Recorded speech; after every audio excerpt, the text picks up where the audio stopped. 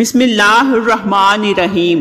ایک ہندو عورت کا سورہ فاتحہ پر یقین کا ایمان افروز واقعہ۔ عرب کے قبیلے میں ایک غیر مسلم شادی شدہ عورت رہا کرتی تھی۔ اس کا شوہر بہت بڑا بزنس مین تھا۔ ایک مرتبہ اس نے سنا کہ ملک عرب یعنی مکہ میں اللہ کے آخری نبی جو اللہ کے محبوب نبی ہیں، ان پر ایک صورت نازل ہوئی ہے۔ جس کا نام ہے سورہ فاتحہ، جس میں ہر بیماری سے شفا موجود ہے، وہ جس پر بھی دم کی جاتی ہے یا پڑھ کر پھونکی جاتی ہے، وہ انسان اچھا ہو جاتا ہے، یہاں تک کہ اس میں بے شمار برکات ہیں۔ اس میں اب عقیدے کی بات ہے مسلم ہو یا غیر مسلم، اللہ پاک جس کے دل میں ایمان کی روشنی ڈالنا چاہے۔ اب کسی شخص سے اس عورت نے سورہ فاتحہ سیکھ لی، پھر جب اس نے سورہ فاتحہ کا ترجمہ پڑھا تو اس کی آنکھوں میں آنسو آ گئے۔ وہ جب بھی یہ صورت پڑھتی تھی، اللہ تعالیٰ اس کے بگڑے کاموں کو سنوار دیتا تھا۔ ایک دن اس کے بیٹے کو ایک خطرناک زہریلے بچھو نے کاٹ لیا۔ بڑے بڑے حکیموں طبیبوں کو بلایا گیا۔ سب نے یہ کہہ کر جان چھڑوا لی کہ اس بچھو کا زہر بہت خطرناک ہے۔ اس بچے کا ہم کچھ نہیں کر سکتے۔ تمہارا یہ بچہ بس کچھ ہی دیر کا مہمان ہے۔ ماں کا رو رو کر برا حال تھا اور شوہر اپنے خداؤں کی عبادت کر رہا تھا۔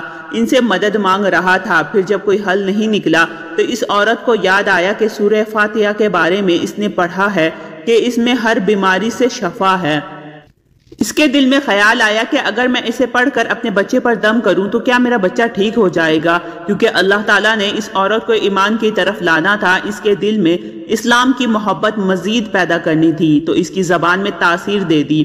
جب اس نے اس صورت کو پڑھ کر اس جگہ پر دم کیا جہاں بچھو نے کاٹا تھا، تو اس کا لڑکا اٹھ کر بیٹھ گیا اور جب اس نے سورہ فاتحہ کو پانی پہ دم کر کے پلایا، تو وہ اٹھ کر ایسے کھڑا ہو گیا جیسے کسی بچھو نے کبھی کاٹا ہی نہیں تھا۔ اس کا شوہر دوڑتا ہوا اس کے پاس آیا اور کہنے لگا، کسی طبیب نے اور کسی حکیم نے اسے ٹھیک نہیں کیا۔ تو تم نے ایسا کیا عمل کیا جو یہ بچہ ٹھیک ہو گیا؟ اس نے کہا کچھ بھی تو نہیں، بس ایک سورہ ہے جو ہر بیماری کو ٹھیک کر دیتی ہے۔ بس وہ مجھے یاد تھی، میں نے پڑھ کر اپنے بچے پر دم کیا اور اس کو اس کا پانی پلایا۔ تو دیکھو کیسا ٹھیک ہو گیا ہمارا بچہ۔ اس کا شوہر بجائے خوش ہونے کے سے ناراض ہو گیا کہ یہ تم کیا جادو ٹونے کر رہی ہو۔ اس کی بیوی کہنے لگی، زندہ صحیح سلامت ہے ہمارا بچہ، ورنہ ہم سے بچھڑنے والا تھا۔ اس نے کچھ نہ سنا اور اپنی بیوی کو ڈانٹنے لگا کیونکہ اسے اسلام سے نفرت تھی۔ جب اس کی بیوی یہی عمل کرنے لگی تو اس کو اپنی بیوی سے بھی نفرت ہو گئی۔ اب اس نے اس پر ظلم کرنا شروع کر دیا۔ ہر روز اس کو مارتا، پیٹتا اور کہتا کہ اب میں نے تیرے منہ سے یہ سورہ سنی تو یاد رکھنا، تیری کھال کھینچ لوں گا۔ اس کو اللہ کے کلام پر بالکل یقین نہیں تھا۔ اب اس عورت کو اللہ تعالیٰ نے کس طرح مدد کی؟ یہ بھی بڑا ایمان افروز ہے۔ اس عورت کا شوہر جب گھر سے کام کے لیے نکلا، نکلتے وقت جب اس نے اپنا جوتا پہنا تو اس میں وہی بچھو موجود تھا جس نے اس کے بیٹے کو کاٹا تھا۔ اس کے ڈنگ سے وہ بچہ تو بچ گیا، مگر وہ خود نہ بچ سکا، کیونکہ جب بچھو نے اس کو کاٹا تو زہر پورے جسم میں پھیل گیا اور وہ شخص وہیں پر تڑپ تڑپ کر وہیں دم توڑ گیا۔ خاندان میں یہ خبر پہنچی تو کوہرام مچ گیا۔ اب شوہر دنیا سے جا چکا تھا۔ شوہر کے مرتے ہی اس کے گھر میں تو نوبت فاقوں تک آ گئی۔ وہ بہت پریشان تھی۔ دل میں پھر وہی بات آئی کہ میں سورہ فاتحہ کا ورد کرتی ہوں۔ کیا پتا میری پریشانیاں بھی دور ہو جائیں۔ پھر وہ زور زور سے سورہ فاتحہ پڑھنے لگی۔ چلتے پھرتے، اٹھتے بیٹھتے سورہ فاتحہ کا ورد کرتی رہی اور اتنے اعتماد اور یقین سے پڑھتی رہی جس کا کوئی حساب ہی نہیں تھا۔ جب کوئی بندہ اللہ تعالیٰ سے امید لگاتا ہے تو اللہ تعالیٰ اپنے بندوں کی دعاؤں کو رد نہیں کرتا۔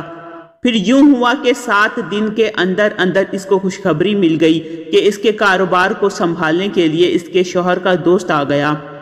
جب دوست کو خبر ملی کہ دوست کی بیوہ کا کوئی سہارا نہیں ہے تو وہ اس کی بیوہ کے پاس آیا اور کہنے لگا، آپ فکر نہ کریں، وہ میرے بھائی کی طرح تھا، میں آپ کی مدد کروں گا اور جو بھی پریشانیاں ہیں وہ سب دور ہو جائیں گی۔